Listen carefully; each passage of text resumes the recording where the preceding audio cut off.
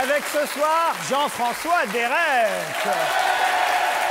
Isabelle Mergot, Jean-Luc Lemoine, Gérard Miller, Claude Sarraute. Et Maureen Dor. Vous savez, Maureen, je commence par vous tout de suite. Maureen, qu'on a prévu un nouveau cheval aujourd'hui dans l'émission pour que vous montiez dessus, comme vendredi dernier. Pourquoi? Parce qu'on a battu notre record d'audience vendredi soir dernier. Quand j'étais sur le cheval. Quand vous étiez sur le cheval. À ce moment-là. À ce moment-là. C'est pas vrai. si, si. Alors il faut qu'on recommence. C'est vrai.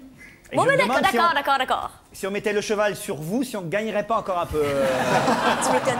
Hier, c'est Isabelle Alonso qui vous a remplacé dans l'émission. C'est vrai. Ben, je vous ai regardé, vous étiez pas mal. C'est vrai Ah, c'est tout, ouais. Ouais, l'émission était bien. Ouais, euh, sans toi, ça valait pas une crotte. Hein, c'est- Exactement. Gérard, Isabelle Mergo formaient un couple formidable. C'est vrai La nuisette et le nuisible.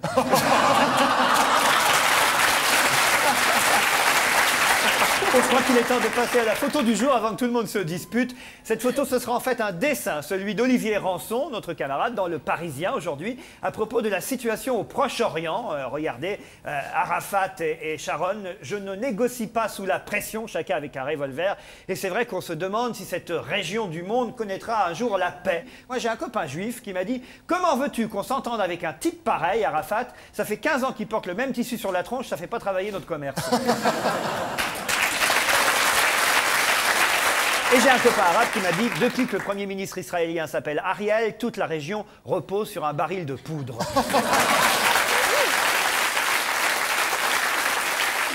Gérard, un commentaire Voilà. Très bref, c'est, c'est- j'ai aucune sympathie pour Sharon, j'en ai pas plus pour Bush, mais dans cette histoire actuellement, on ne peut pas minimiser le fait que ces attentats sont absolument monstrueux et qu'il n'y a aucune raison de faire la moindre nuance pour les condamner. De toute façon, même si Sharon et Arafat signaient un nouvel accord, ce qui serait terrible, ce serait que cet accord-là ne serait qu'un accord qui dirait qu'ils vont respecter l'accord précédent, qui disait qu'ils allaient respecter le précédent accord, qui disait qu'il fallait appliquer le précédent traité, qui disait que bon, j'arrête, hein, on ferait mieux d'essayer de retrouver les papiers signés par Allah et Jésus dès le départ et qu'on les applique une fois pour toutes. Revenons en France où on a aussi nos kamikazes. François Bayrou, par exemple, le kamikaze de la politique française, puisqu'il a décidé d'attaquer les deux tours de la présidentielle avec un autobus. C'est quand même. euh, Et si avec son autobus au colza, attention, écoutez bien, le pire des jeux de mots que j'ai jamais fait, je crois. J'ose même pas. Attention, attention. Alors, accrochez-vous. Je m'accroche. Si avec son autobus au colza, Bayrou fait moins de 5%, on pourra même dire qu'il est allé jusqu'au terme minus. C'est bon. C'est bon, Claude. Gérard C'est bon, on va passer le cap. Bon. je tiens à vous rassurer, vous avez fait plus nul que ça déjà. hein. Un qui ne sera pas en autobus, et c'est officiel depuis ce matin, il va participer au prochain Paris-Dakar, c'est Johnny Hallyday. Le Parisien aujourd'hui nous le montre avec son copilote, René Medge, Euh, mais l'équipe nous montre déjà Johnny à bord de sa voiture, et regardez dans l'équipe, hein, avec sa main droite, on voit le vieux réflexe, il regarde tout de suite comment on ouvre le bar, regardez. Johnny dans le Dakar, ça va être un véritable événement. Mais, mais il a compris comment gagner. Il est parti avant tout le monde, là il est déjà parti. Ah oui, ça c'est sûr, s'il est parti aujourd'hui, il a des chances d'arriver à Dakar avant les autres. Isabelle Mergot Moi, je me suis jamais intéressée à la voile, c'est pas maintenant que c'est. Ça doit être, Chacun J'ai trouvé une blague à propos de Johnny sur le Dakar. C'est euh, c'est Johnny qui est dans le désert, puis qui voit, euh, il est avec son copilote, puis le copilote il fait Oh, un oasis ou un oasis, il n'y a pas autre chose à boire? qui dit- Voilà. Allez, autre photo étonnante dans tous les journaux ce matin. Non, ce n'est pas toute l'armée française qui arrive en Afghanistan. C'est, paraît-il, la toute nouvelle invention révolutionnaire, nous dit-on, un nouveau moyen de transport imaginé par le milliardaire américain Dean Kamen. Ça s'appelle le Segway, je crois, et ça coûte quand même 18 500 francs. Donc, si vous voulez vous faire rouler, c'est l'idéal. Non, non, non, non, ça a l'air super. Ah, je suis pas d'accord, Laurent. Je suis pas d'accord, Laurent, je trouve que ça a l'air super. Franchement, j'ai vu des images de ce truc-là. Ça a l'air vraiment bien. Mais ce qui est terrible, c'est qu'avec la trottinette, on avait l'air con. Là, on aura l'air con, mais plus vite, en fait.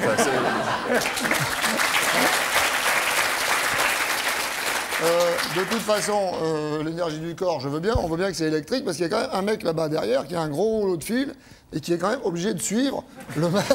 C'est vrai ça. Je crois que ça, ça se nourrit d'une source solaire, d'une source de chaleur. Ouais. Il faut de temps en temps, absolument, il faut réalimenter les batteries. Mais c'est absolument, il faut que ce soit que des, il y a que les jeunes personnes qui puissent faire ça. Ah bon, pourquoi, Claude Parce que, regarde, quand tu veux aller en avant, tu dois faire comme ça. Ouais. Quand tu veux t'arrêter, tu, tu dois faire comme ça.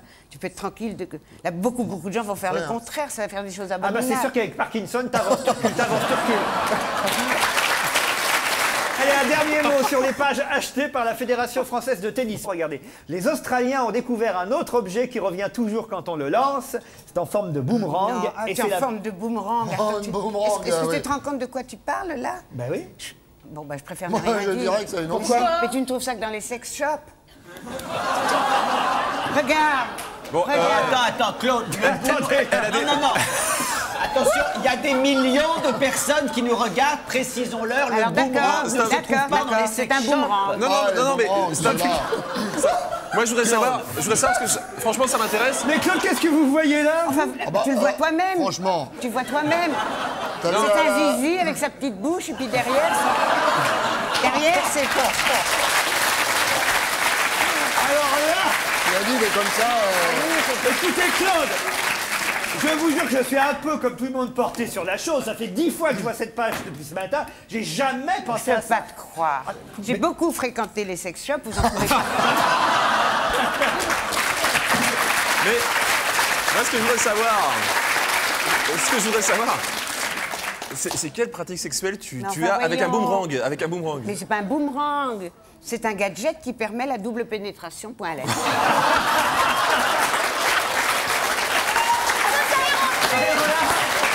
Il faut comprendre, moi, Claude, je elle croyait croyais que c'était simple. hein. Et il faut comprendre Claude, elle croyait que c'était une pub pour la Fédération française de pénis. Et pas, pas du tout. Pénis. J'aimerais bien que mon mec soit en forme de boomerang. Quand je le vire, il reviendrait comme ça. Ben, c'est vrai que le boomerang est une spécialité australienne. D'ailleurs, on se souvient des, ben, des Jeux Olympiques de Sydney où on avait envoyé Marie-Jo Pérec. Et ben, elle était revenue tout de suite. Allez, près de 54% des jeunes de 18 à 25 ans se sont abstenus de voter aux élections municipales de 2001, la dernière fois. Et aux législatives de 97, ils étaient seulement 40% à s'être déplacés jusqu'aux urnes. Voilà pourquoi le CIDEM, Association Civisme et Démocratie, vient de lancer sur les routes de France des caravanes civiques qui ont pour but d'inciter les jeunes à s'inscrire sur les listes électorales avant le 31 décembre prochain. Et évidemment, à aller voter aux prochaines présidentielles et législatives.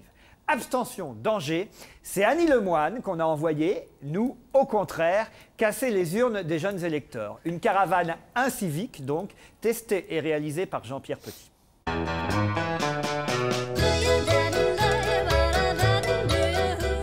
Salut, aujourd'hui on fait la sortie des facs parce que on a testé pour vous la caravane à civique. On y va? Ok. On lance un appel à l'incivisme, t'es d'accord? Moi, je suis euh, pas d'accord, donc euh, j'irai voter. Pourquoi Parce que il y a que quand on a quand, quand on dit qu'on va pas voter, euh, on fait rien. Ou on vote blanc intérêt. aussi Si vous voulez, bah, allez voter blanc alors. Non, moi je vote pas blanc, moi.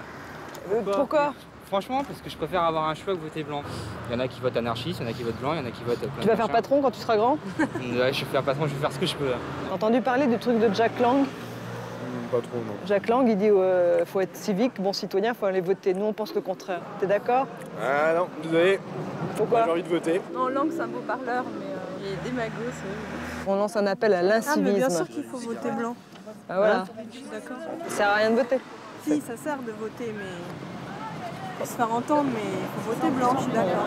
On lance un appel à l'incivisme pour pas aller voter du tout l'année prochaine. Moi j'y vote jamais, parce que j'y crois en rien. Ça, c'est votre caravane alors Ouais. Civique Il te plaît le camion Ah ouais, sympa. ah, Tu peux nous rejoindre si tu veux. hein. Vous avez une adresse? www.caravanacivique.com Changez tout, changez tout. Votre monde ne tient pas debout. Qu'est-ce que tu comptes faire aux prochaines élections? Bah voter blanc, mais euh, faudrait que personne ne vote, parce que si on vote pas, il y a- il y a- ça va changer les, les faussements. Par exemple, il y a le Front National qui, qui souvent bénéficie de ça. On lance un appel à l'incivisme. On dit les politiques, c'est tous les mêmes. Ils nous servent toujours le même baratin, qu'ils soient à droite, qu'ils soient à gauche. Hein On est repère, ouais. pourquoi tu veux pas voter blanc? Parce que je suis RPA. On veut, nous, c'est contrer l'initiative de Jack Lang. Bah oui, non, mais c'est vrai, c'est des magos.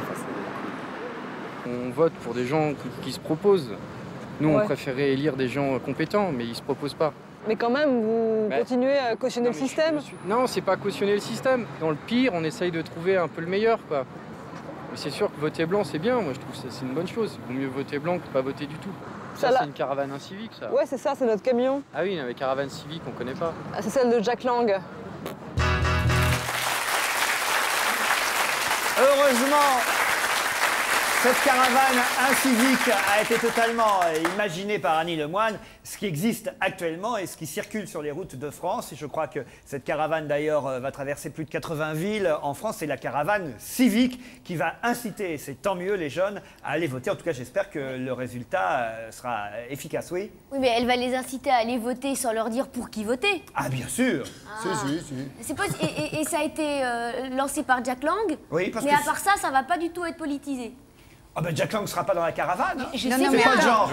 Elle a pas tort, Mais je veux bien, mais c'est- que ça vient quand même d'un mouvement politique. Ça vient de C'est- plusieurs. c'est- le ministre de l'Éducation nationale. Oui, mais mon chéri, non. Il y a le MRAP, il y a UNICEF, il y a la Ligue des droits de l'homme. Ils sont pas particulièrement à droite. Écoutez, pour répondre à cette question, c'est tout simple. hein. Je vous demande d'accueillir le chef de ce projet des caravanes civiques, Monsieur Benoît Marcaille, ainsi que le délégué du CIDEM, Civisme et Démocratie, Jean-Marie Montel.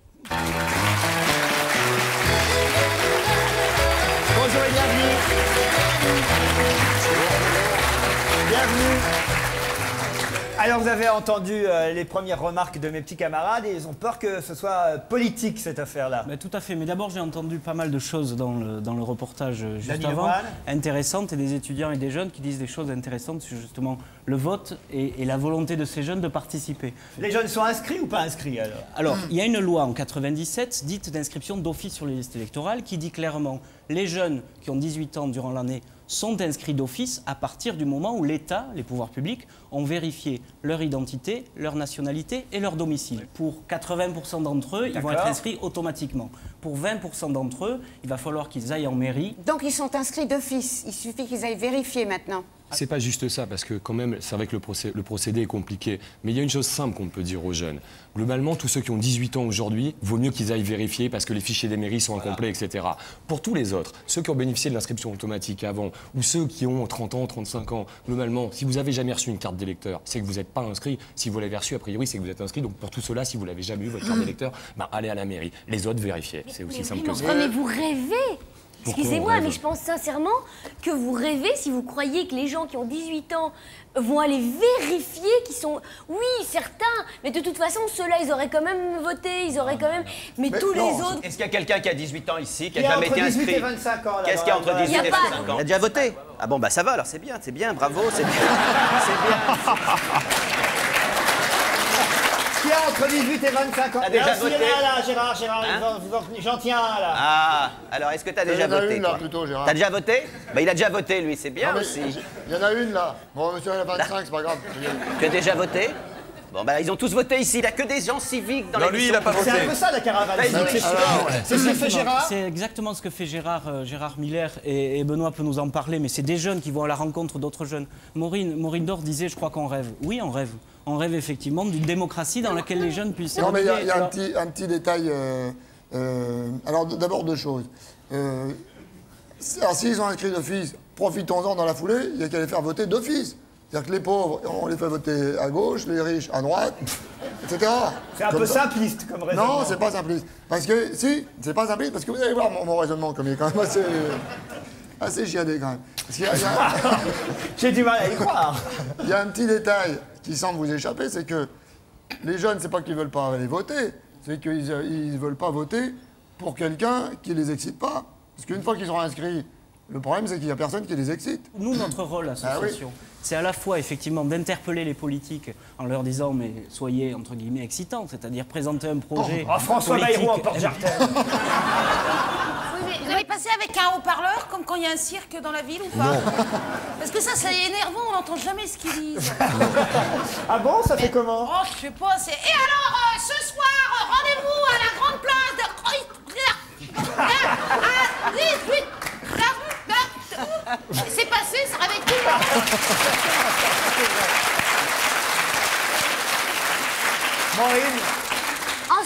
il y a une superbe publicité, Ouais. je trouve, qui passe en ce moment à la, à la télé, justement sur le, le droit de vote, enfin la possibilité. Je trouve qu'elle est bien foutue, Bah, elle, on, elle on est va regarder justement, génial. on va regarder ce spot de 30 secondes qu'on voit en ce moment à la télévision. C'est depuis samedi dernier. Il incite effectivement les jeunes à aller voter. On regarde. Alors Comment on va l'appeler ce petit garçon? Tiens, Jules. Mais c'est pas mal, Jules, non? Ou alors euh, José, c'est bien aussi, José. Pourquoi pas Paul? Paul, c'est très bien. Non, Jean, c'est mieux. C'est pas terrible, Jean. Jean, c'est pas si mal, Paul? Jean-Paul Va pour Jean-Paul.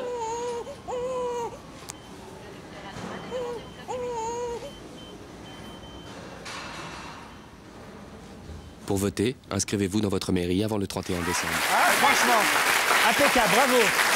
Ça, c'est le CIDEM, civisme et démocratie. Tout à fait, c'est le CIDEM, c'est la campagne nationale du CIDEM. Et les caravanes civiques sont l'expression de proximité de ce qu'on dit là. Qui a trouvé ce petit scénar, on peut le dire, parce que Oh, c'est- ben, c'est c'est- c'est une agence BDDPFI, c'est avec laquelle nous travaillons et c'est aussi avec les réseaux associatifs du CIDEM. Pendant un certain nombre d'années, effectivement, on a eu une communication sur le civisme euh, très moralisatrice, très culpabilisante. Nous, on a essayé simplement là de dire vous avez le droit de ne pas aller voter. On est dans un pays de liberté, mais rendez-vous simplement compte que quand vous n'allez pas voter, vous laissez quelqu'un d'autre décider pour vous, et ça, c'est un choix. Moi, j'ai une méthode Et- moins, moins ambitieuse que la vôtre hein, pour ramener les jeunes dans les isoloirs. C'est pour les garçons, vous mettez des filles pas farouches dans les isoloirs. Et pour les filles, vous leur faites croire que c'est des cabines d'essayage pendant les soldes. Oh. Isabelle ne regarde pas l'émission, je l'espère. Bon, bon, merci Jean-Marie Montel et Benoît Marcaille. Bravo Merci en à tout cas pour cette initiative. J'espère que les jeunes iront voter. Allez voter, hein, attention, hein. C'est important. L'an dernier, à la même époque, sortait ce livre, La stratégie de l'échec, paru chez Robert Laffont. Son auteur, Dominique Farrugia, ne reculant devant rien, en a fait cette année une vidéo d'une heure intitulée, toujours d'ailleurs, La stratégie de l'échec. Ça sort donc en cassette et en DVD. Afin de tester avec lui tous ces échecs, nous allons accueillir le plus nul des producteurs, Dominique Farrugia, mais avant, un extrait de La stratégie de l'échec. C'est parti pour l'échec. Cette vidéo, grâce à des tableaux pas beaux et une réalisation pas claire, vous portera sur le fleuve de l'échec sans même vous en rendre compte. Je suis prêt à tout pour échouer. En plus, j'ai une mallette. Tentez d'oublier des qualités telles que la volonté. Luc, vous êtes là? C'est parti à la cantine. Le courage. Je crois que je vais rentrer chez moi. La maîtrise de soi. Attention, la réussite peut frapper à n'importe quel moment. Ah, d'accord.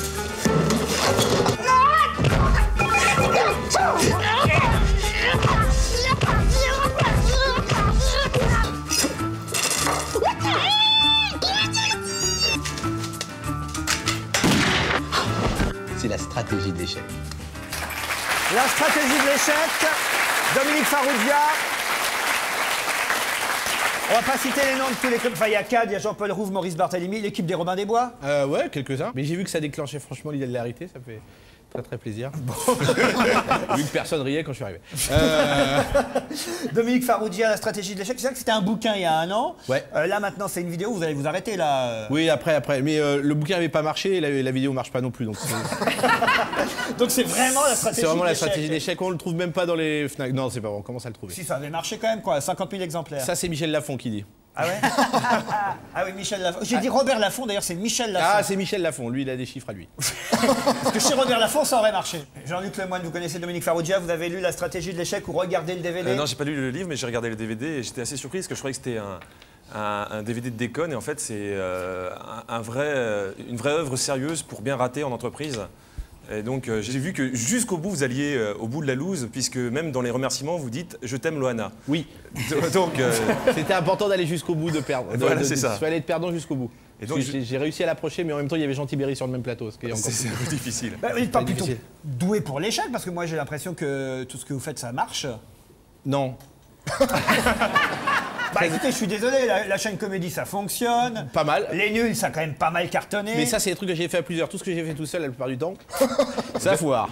Non, non, La production de Robin des Bois. Ah non, ça c'est bien, ça ça a marché. Non mais ça c'est des trucs, j'ai découvert des gens, des trucs que j'ai fait tout seul, mais surtout euh, un film qui s'appelle Trafic d'influence a été Ah oui, vraiment ça, un, un- un énorme, un énorme bide. Oui, ça c'est vrai. Ouais ouais. C'était, euh, ça a été vraiment un échec lamentable. Mais ça avait marché en télé. Oui, oui, bizarrement. En plus, j'étais même pas chez moi. Ça, ça va être un grand moment de promo parce que vous avez une telle jouissance à parler de vos échecs que pour une fois, nous, on va être à l'aise. Mais Ah non, soyez mais à l'aise, au contraire, si je suis là, c'est pour, être essayé, donc essayez-moi. Claude Non, je voulais dire que tu sais, moi, cette forme d'humour, elle est trop moderne pour moi. Tu vois Les nuls, bon, à peu près, mais les Robins des Bois, j'ai jamais pu très bien. euh, ça ne me fait pas rire, pas même sourire. Mais là, tu es tellement charmant. J'adore les gens qui disent quand ils ont tout raté, qu'ils sont nuls. ça me parle au cœur. Vous avez regardé la vidéo, Gérard? Alors? Mais est-ce que la vidéo, moi je trouve ça formidable. Ce qui m'a un peu gêné, c'est tous les produits dérivés. Parce qu'il y a des timbres poste, la stratégie d'échec, je l'ai mis sur une lettre, elle n'est jamais arrivée. Je crois qu'on peut le dire, Maureen, vous avez utilisé le préservatif, la stratégie d'échec. Elle est enceinte et elle a un petit bébé de 9 mois. Donc ah, les produits dérivés, c'est embêtant. Mais et moi- c'est vrai que moi, je ne suis pas comme, euh, comme aimes. ma camarade Claude Sarraute. J'aime bien cet humour-là. J'ai regardé hier soir chez Ardisson Les Inconnus. Excuse-moi de dire ça, hein. mais j'étais, mais je, je les ai vus 25 fois ces sketchs. Et j'étais, mais je pissais de rire sous moi, vraiment incroyable. Eh ben, bravo. Ça, ça, Mais- c'est l'âge. hein. Bravo. Mais, mais- mais c'est- c'est aussi l'âge des inconnus qui fait ça aussi. c'est- vrai qu'on a souvent opposé les inconnus et les nuls. C'est Ouais, mais c'est vrai parce qu'on était là au même moment et ils ont vieilli plus vite que nous. Vraiment, Non, vous pensez ça Non, non, c'est marrant cette rivalité, c'est drôle. On, nous a toujours un peu opposés. Non, mais c'est vrai, on fait, on fait pas vraiment les mêmes trucs. Moi, ça me faisait marrer de faire ce truc-là. Puis j'ai la chance de pouvoir le J'ai la chance de pouvoir euh, faire un peu ce que j'ai envie de faire. Donc c'est formidable. Et, euh, et puis à un moment où tout le monde nous dit qu'il faut réussir, ça me faisait marrer d'aller parler de l'échec et justement de donner un manuel pour euh, échouer au bureau dans toutes les situations. C'est de la potacherie, c'est un super cadeau de Noël, sincèrement. euh, Merci. Non, non, non, mais pour qui ne sait pas, pour qui ne sait pas quoi offrir à quelqu'un qui a un peu vrai, on a d'humour toujours des conneries à offrir à Noël. Eh ben voilà. C'est vrai, Ouais, vrai. tu sais jamais quelle merde offrir. donc- La stratégie de l'échec. Si vous voulez offrir, par exemple, à quelqu'un que vous aimez euh, la stratégie de l'échec, vous lui offrez et. Ah merde Ça, c'est le problème de l'échec. Je vais vous faire un autre cadeau, puisque celui-là est tombé par terre. Je vais vous faire le cadeau de la stratégie du succès. En toute. sans, sans Mais quel flagornerie aucune. mais alors, si, on est, si on est en plein dans la pub, alors à ce moment-là, il y a aussi le bouquin de, de- de Jean-François Derek euh, euh, Très bien. qui s'appelle, euh, qui s'appelle je sais plus comment, mais alors, Ça, c'est la stratégie de l'échec. Derek, voilà, c'est la différence. Alors, Qu'est-ce que vous pensez de la stratégie de l'échec? Eh bien, cher Laurent, depuis que je travaille avec vous, j'ai un peu plus d'argent et donc j'ai un DVD. Et vous m'avez donné une, une cassette vidéo. Alors, comment voulez-vous que je l'ai vu Je l'ai pas vu, mais j'ai hâte de le voir. non, mais bon. Dominique Farrugia, il y a d'autres projets au cinéma? Est-ce que, est que justement, parce que là, c'est en DVD, est-ce que ça pourrait devenir un film Non, ça? non, non, là, ça va s'arrêter, là. C'est là, là. Là, on, produit, je- je- on va produire des choses, le film de Cadet Olivier. euh, Vous avez une chaîne aussi de, de cuisine, non? Oui, je m'en occupe, qui s'appelle Cuisine TV. Mais elle, est, elle est en fonction, là. oui, parce elle est que sur je tombe Canal dessus de temps en temps. C'est vous, c'est ça Canal 14 Mais de c'est pas Canal drôle, Satellite. ça. Ah non, pas du tout. Alors, c'est pas drôle, mais c'est ou toujours trop froid ou toujours trop chaud. Les plateaux de service, ça, je peux te le dire. Claude, vous regarderiez une chaîne de cuisine, vous? Ah oui, j'adore ça. Parce que je m'interdis de trop manger, mais j'adore rêver. C'était- Ça me rappelle d'ailleurs l'occupation, non pas que ce soit un bon souvenir, mais, mais je suis capable. Gérard Miller, rien à ajouter sur la stratégie de l'échec? Non, je regrette juste une chose, c'est que je trouve que vous avez un vrai talent d'écriture, sans exagérer du tout la chose, et que je trouve que ça manque un peu dans le, dans le, dans le film. C'est plus des gags visuels très souvent. Et je trouve que vous devriez plus souvent écrire. Moi, j'adore, par exemple, la façon simplement dont c'est présenté en dernière page. Pour nous aider à comprendre l'échec et illustrer cette vidéo, nous aurons besoin de deux hommes que nous appellerons Luc pour plus d'incompréhension. Il nous faudra aussi une femme que nous appellerons Sylvie pour des questions d'hygiène. Et je trouve que rien que ces phrases-là, c'est vraiment du Pierre Dac, dans ce qu'il y a de meilleur, modernisé. Mais c'est c'est pour ça que j'ai été passé par le bouquin. là. C'est très gentil, je ne m'attendais pas à tout ça. Mais euh, euh, j'ai été passé par le bouquin, je m'étais amusé à écrire et j'avais envie d'avoir un côté un peu plus slapstick dans la, dans la vidéo. et de, un peu plus slapstick. Il y avait des gens, des gens qui tombent, des, gens, des conneries comme ça. Que j'avais. Moi, je qui ne sont- connaissais pas le mot, excusez-moi. Pardon. Mais euh, vous Et prononcez voilà, mais je mal, vous hein. remercie. Hein. Oui. Non, mais dis-le pour qu'on C'est- rigole. Même ça, c'est rigolo. Avec et sans femme nue, ça devrait Oui. faire vendre, ça. C'est c'est fait pour. La stratégie de l'échec, Dominique Farrugia, un cadeau pour les fêtes en DVD, en vidéo. Et le livre, si on le trouve encore? Oh, je pense, euh, il en vend 50 000. Dominique Farrugia, merci. Merci.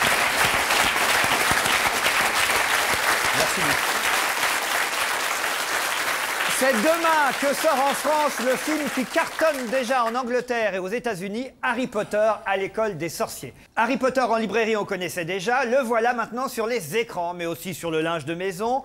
en figurines, en jeux de cartes, en puzzle et autres produits dérivés que nous allons tester ensemble pour vous. Mais avant, un petit coup de baguette magique et voici la bande-annonce du film Harry Potter. Pendant dix ans, on a obligé Harry Potter à se sentir différent. Mon garçon, la magie, ça n'existe pas. Mais aujourd'hui, il est sur le point de découvrir Je m'étonnais de ne pas vous avoir encore vu, monsieur Potter. qu'il est différent. Tu es un sorcier, Harry. Je suis un quoi? Un sorcier. Waouh Là, derrière les murs d'un château magique, Bienvenue à Poudlard. Démon il va trouver de véritables amis. Bienvenue à votre premier cours de vol. Debout Debout. Ah. Te mords pas, Harry. Petrificus totalus Effrayante. Et découvrir un monde Qu'est-ce que c'est que ces créatures? Des gobelins, Harry. Qu'il n'aurait jamais pu imaginer. Il est franchement désagréable, n'est-ce pas? Étrange dans les cachets Silence Jeunes gens, s'il vous plaît, pas d'affolement. Ça complique un peu les choses. Les sorciers ne sont pas tous des gens bien. Certains tournent mal. Sais-tu ce qui est caché dans l'école en ce moment même, Harry Potter Pierre philosophale. Venez voir les merveilles. Vous êtes vachement doué. Oh, merci pour ce compliment. Découvrir l'enchantement. Qu'est-ce que c'est? Un dragon? Et vivez l'aventure La pierre philosophale Quelqu'un va essayer de la de voler votre vie.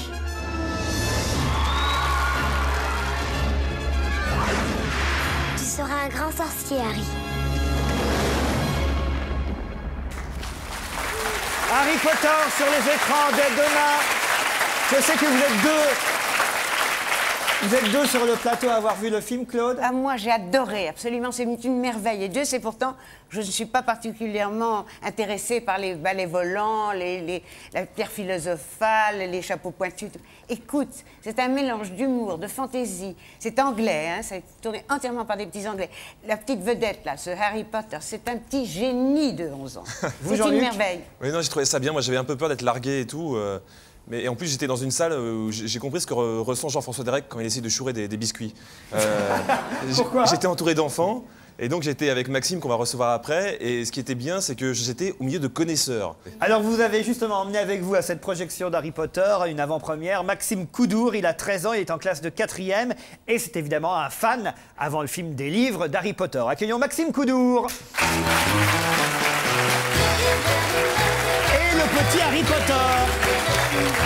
Bonjour Maxime. Euh, c'est pas le vrai Harry Potter qui est venu avec toi là Non, c'est pas le vrai. C'est pas le vrai. Bonjour Harry Potter. Bonjour. Tu as aimé le film? Moi, j'ai adoré le film. Ouais. Il est, il est vraiment génial, quoi. C'est même qu'on ait vu, qu'on n'ait pas vu le, le- qu'on ait lu ou pas lu le livre, c'est euh, le film, il est tout de suite prenant dès la première seconde. euh, on est dedans. quoi. Toi, tu avais lu les quatre livres Harry Oui, Potter? plusieurs fois même. ouais. Plusieurs fois? Ouais. Et le film, tu l'as vu déjà deux fois, je crois. Et J'ai déjà vu deux fois le film, ouais. Et toi, comment tu t'appelles, Harry? Thomas. Thomas. Et tu l'as vu toi aussi? Non. Non, tu l'as pas vu. T'es content d'être à côté d'Isabelle Mergot Qui avait lu les Harry Potter, euh, Maureen Dor Ah oui, j'ai adoré. En fait, vous savez, je les avais achetés pour l'offrir à ma, à ma petite cousine. Et puis, je sais pas pourquoi, je me suis dit, oh tiens, non, je vais les regarder. C'est génial. Mais en fait, ce qu'il y a de génial, euh, pour les adultes, on, on a l'impression que. Comment expliquer Qu'on qu'on nous abrutit pas. Est-ce que vous pouvez m'expliquer pourquoi dans à ces lunettes il y a un petit. Parce que moi j'ai pas vu le film et j'ai Bah. pas lu les livres. Pourquoi il y a un petit truc blanc là? Bah, c'est en fait c'est du sparadrap parce que ses lunettes elles sont cassées. Ah. Et euh, bah, lui il est un peu maltraité par ses- ses- son oncle et sa tante qui aiment pas cet univers de, de magie et qui. euh, C'est un petit orphelin au départ. Voilà, hein, qui un a été adopté par son oncle et sa son tante. oncle et sa Ils sont très méchants avec lui. Oui, c'est des Sont- monstres. Ah oui Ah oui, ils sont, Ouais. ils sont énormes, hein, t'es Oui, ils d'accord. Ils sont gros, ils sont lourds, ils sont épais, ils ont un petit garçon eux-mêmes qu'ils adorent, et qui est une espèce de petite obèse horrible. horrible. Mais ce qui- vraiment participé au film, hein, c'est j'ai adoré. incroyable. Claude, elle fait les sex shops et Harry Potter. Elle a une palette Ce qu'il faut dire, ce qu'il faut dire sur. euh, Maureen. Moi, quand j'étais petite, je lisais beaucoup d'histoires sur les princesses. Et en fait, au fond de moi, j'étais persuadée qu'en fait, j'étais une princesse qu'on avait mis chez des gens normaux, mais que à 18 ans, on viendrait me rechercher, donc. Et qu'on, Oui, euh, bon. Maureen, oui. Eh bien, avec Harry Potter, ce qui est bien, c'est que maintenant, les gamins. oui. Les gamins vont tous se dire qu'en fait, peut-être qu'au fond d'eux-mêmes, ce sont des petits magiciens. et qu'un jour, on vient, et qu'un jour, a- on viendra les chercher. Elle a raison. Tu vois, c'est ce on que tu. on mais a oui, j'ai raison, c'est mignon, il dit que j'ai raison, le Thomas. Hein Non, mais elle a raison, c'est vrai. Hein. Ce qui est terrible. Attendez, laissez parler. Maxime On- en, fait, on, attend tous un peu qu'on vienne. euh, parce qu'on a- on aimerait bien sortir de l'ordinaire et puis. euh, euh, et puis épater un peu les copains et tout ça, quoi. C'est. euh, Bah, un peu ce que faisait Gérard, comme il le raconte dans son livre euh, minoritaire, quand il faisait des séances euh, d'hypnose. Ouais, hein. ouais, tout c'est à comme fait. ça que intéressant au départ, Gérard. hein.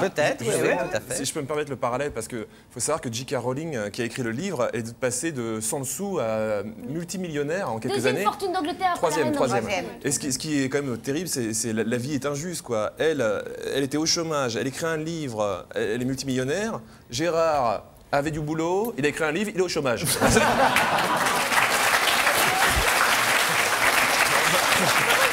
Vous savez, vous savez que, vous savez que euh, moi je suis un peu sorcier. Non. Si. C'est pas vrai. Si, si, si, j'ai mis au point une poudre, euh, une poudre secrète qui rend les filles amoureuses. Non. Si.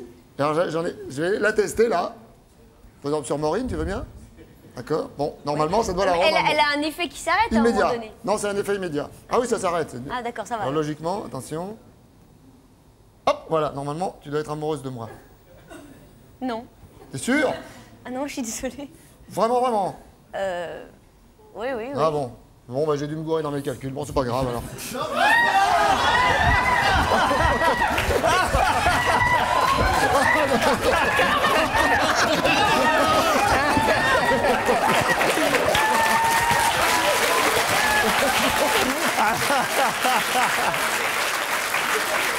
Vous n'avez pas gardé un peu pour moi Je voudrais demander à Thomas et à Maxime quels sont les petits objets là, parce que ça c'est le merchandising Oui, hein, évidemment. plein. Tous ces objets qui ont. euh, bah, Qu'est-ce que c'est Alors? Ça par exemple c'est quoi ça? C'est le Bah, chien d'Isabelle Mergot. Voilà. non, euh, ça c'est Cerbère en fait. Euh, enfin, dans le film, il s'appelle Touffu.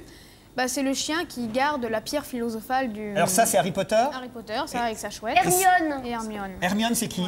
Bah, c'est ça, une de ses copines. Harry Potter, il a le talent, mais la connaissance, c'est Hermione qui l'a. Et ça c'est quoi ça? Et bah, c'est en fait c'est des bonbons surprises. Et la surprise c'est dans le goût. Alors par exemple, il y a- des- il y a des parfums. Mais bon, euh, c'est bon ou pas bon? Eh ben, il y a des parfums très bons et il y a des parfums dégoûtants. Il y a des fois, il y a des fois, il y a, on, on goûte des bonbons à la carotte et à la tomate. Non. C'est pas vrai. Et, on pique les fourmis et il y a les goûts. Il faut savoir que dans le film, il y a aussi des, euh, des bonbons à la poubelle hein, et des bonbons aux crottes de nez. C'est vrai Quoi Oh, eh, ça va. Ce que j'aime bien, c'est les bonbons aux crottes de nez, ça, ça choque tout le monde alors que tout le monde en mange dans la voiture. Thomas Est-ce que tu peux montrer à Isabelle Mergo ce que tu as devant toi? Qu'est-ce que c'est? Bah, en fait, euh, c'est Harry Potter qui essaie de contrôler une balle de football et la faire passer le plus vite possible. euh, Tu peux jouer avec Isabelle? Mhm. Mais c'est incroyable, mais comment elle va la boule Ah bah, il y a une soufflerie. Ça passe par là. Ça passe par là. Ah ouais, ça vous plaît Isabelle Ah, c'est très très mignon, je vais acheter ça à mes neveux, ils me foutront la paix pendant un week-end.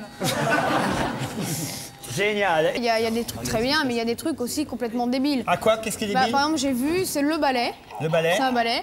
Et euh, on appuie sur un bouton et ça fait du bruit, ça vibre. Enfin, c'est. euh, Après, c'est tout un phénomène. Et là. Derek, est-ce que votre deuxième expérience est prête? Alors elle est prête, mais je vais la tenter. Bon, évidemment, après un premier échec, mais il faut toujours recommencer. Alors, euh, je vais la tenter par exemple sur, sur- sur Gérard Miller.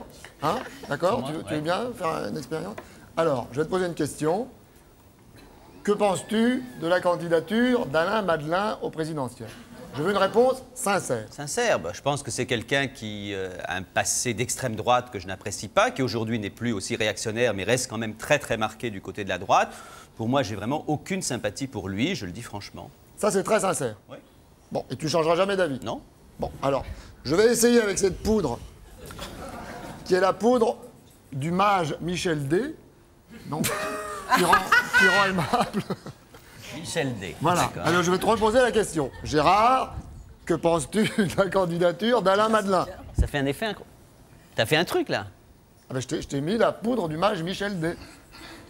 Ben non, ce que je trouve formidable chez, chez Madeleine, c'est à la fois sa jeunesse et son dynamisme. C'est quand même quelqu'un qui a énormément de propositions, qui n'est pas du tout réactionnaire comme on l'imagine, qui est plutôt un grand libéral. Et franchement, moi, je pense que si on avait un président de la République comme ça, ça serait formidable pour la France. Eh ben voilà, ça marche. Je vais pas demander à Thomas. Thomas, tu l'as vu toi aussi Harry Potter? Euh, non. Non, tu l'as pas vu. Tu vas y aller? Euh, oui, le 12 décembre. Le 12 décembre. ah, c'est, euh, Tu connais la date déjà? Comment tu sais que c'est le 12 décembre? Parce que j'y vais avec le centre. Ils m'ont donné le planning.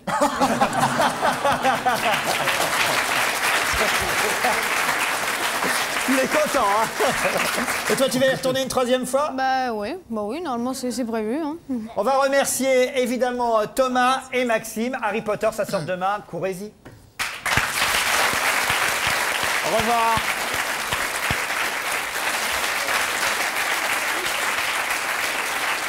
Écoutez ça, Claude, ça va vous intéresser. D'après un sondage effectué aux États-Unis par le fabricant de préservatifs Durex, ce sont les Américains qui font le plus l'amour. 124 rapports sexuels par an, la moyenne mondiale étant de 97. Mais faut-il croire les sondages? 124 rapports sexuels par an, j'ai compté, ça fait un peu plus de 10 rapports sexuels par mois, donc à peu près un tous les trois jours, à moins d'avoir les 124 rapports sexuels dans la même journée, ce qui vous laisse tranquille pour le reste de l'année. Voilà en tout cas des chiffres qui ont intéressé Dan Bolander, dont on comprend mieux maintenant pourquoi il a américanisé son nom. Un test réalisé par Gilles Maillard. Regardez.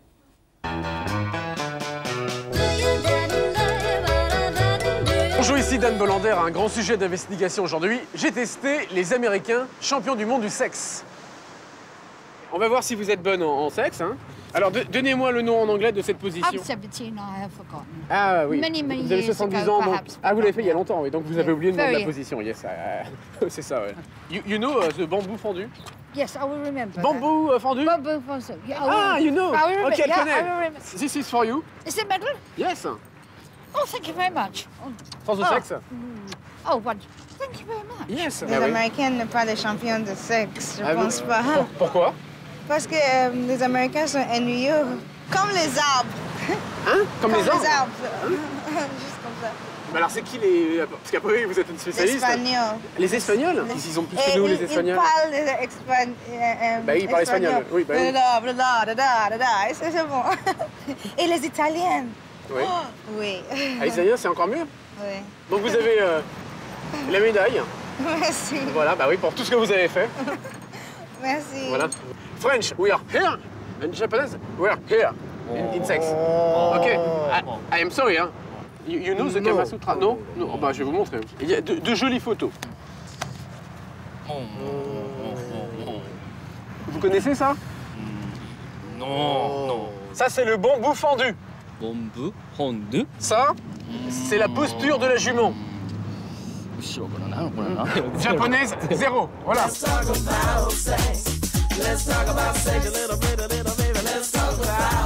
Les Américains sont les champions du monde du sexe. C'est pas vrai ça. Les Espagnols, les, les Les Latins, Italiens. les Italiens sont mille fois meilleurs quoi. Ouais, mais moins, moins bien que les Français. Hein. Ouais, peut-être. Bon, on va vérifier certaines positions du Kama Sutra, d'accord Ok. Ok. Est-ce que vous êtes capable de me faire le bambou fendu? Le bambou fondu Oui. Alors, comme vous êtes euh, américaine et championne du monde du sexe, est-ce que vous êtes capable de me faire la position de l'enfoncement du clou? Pas devant l'école. Je peux dire en anglais? Oui. Okay, so like I'm on my back and I have like both my legs swung over my head and I'm screaming, I'm thrashing around, I'm loving it. And like Nico's right there and he's got it in me. I mean deep in me and he's like putting it in, putting it in and you know like a nail. Enfoncement du clou. Étonnant. I fuck so well.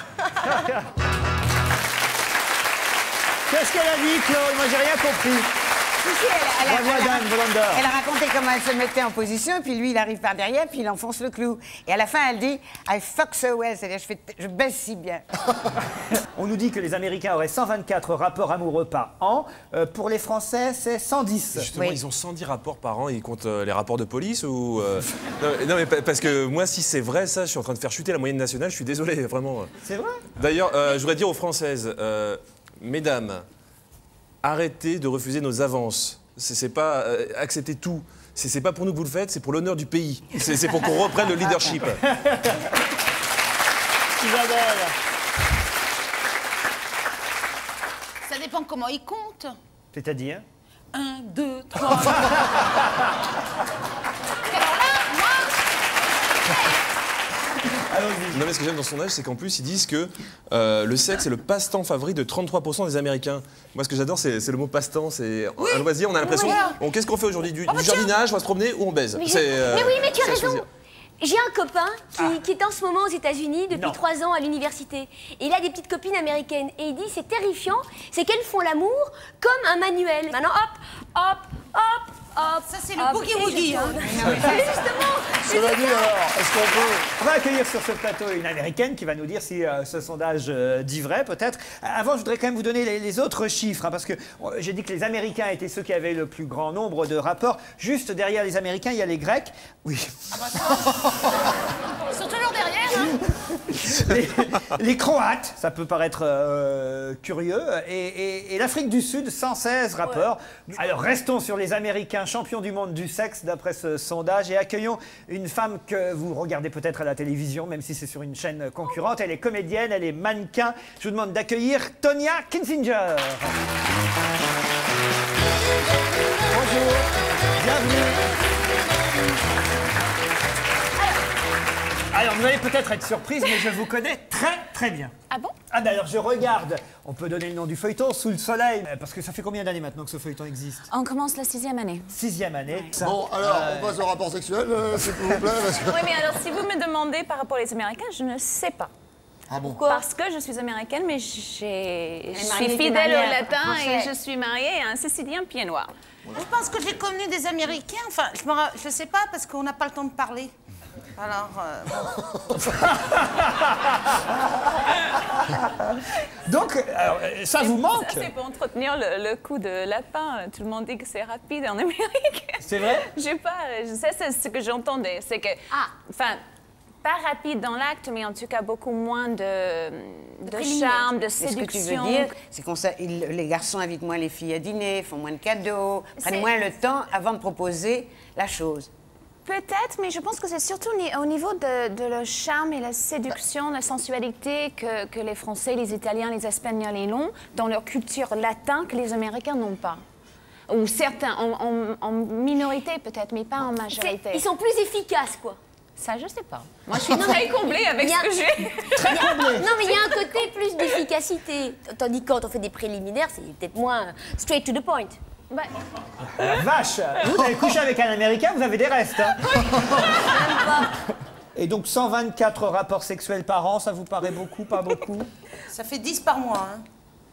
Oh, bah ça va. C'est pas tellement 10 énorme. par hein, mois, deux, par semaine. Juste, je vais pas vous poser de questions Par indiscrètes. mois, deux par semaine. La moyenne des Américains, c'est 124 rapports sexuels par an. La moyenne des Français, par c'est 110. Alors, on va se situer par rapport aux Américains, 124. Vous me dites juste plus ou moins, d'accord? Plus ou moins de 124 rapports par J'aime an. bien. Je vais pas être indiscret, je vais juste vous demander. Ça, c'est la première question. La deuxième, c'est est-ce que c'est plutôt devant ou plutôt derrière Et la troisième, mais vraiment, ça sera pas du tout indiscret, c'est à deux ou à trois de préférence. Plus ou moins Euh, je dirais que c'est la bonne moyenne. Bon, 124 par an, 10 fois par mois. Ah oui, à l'aise. Ah bah voilà Isabelle Mergot Moins ou plus? Juste ça comme question. Beaucoup plus. Maureen C'est un sondage, les gens ont bien répondu à ce sondage du Beaucoup plus. Et vous, le moine Bah écoutez, j'espère que ça va commencer.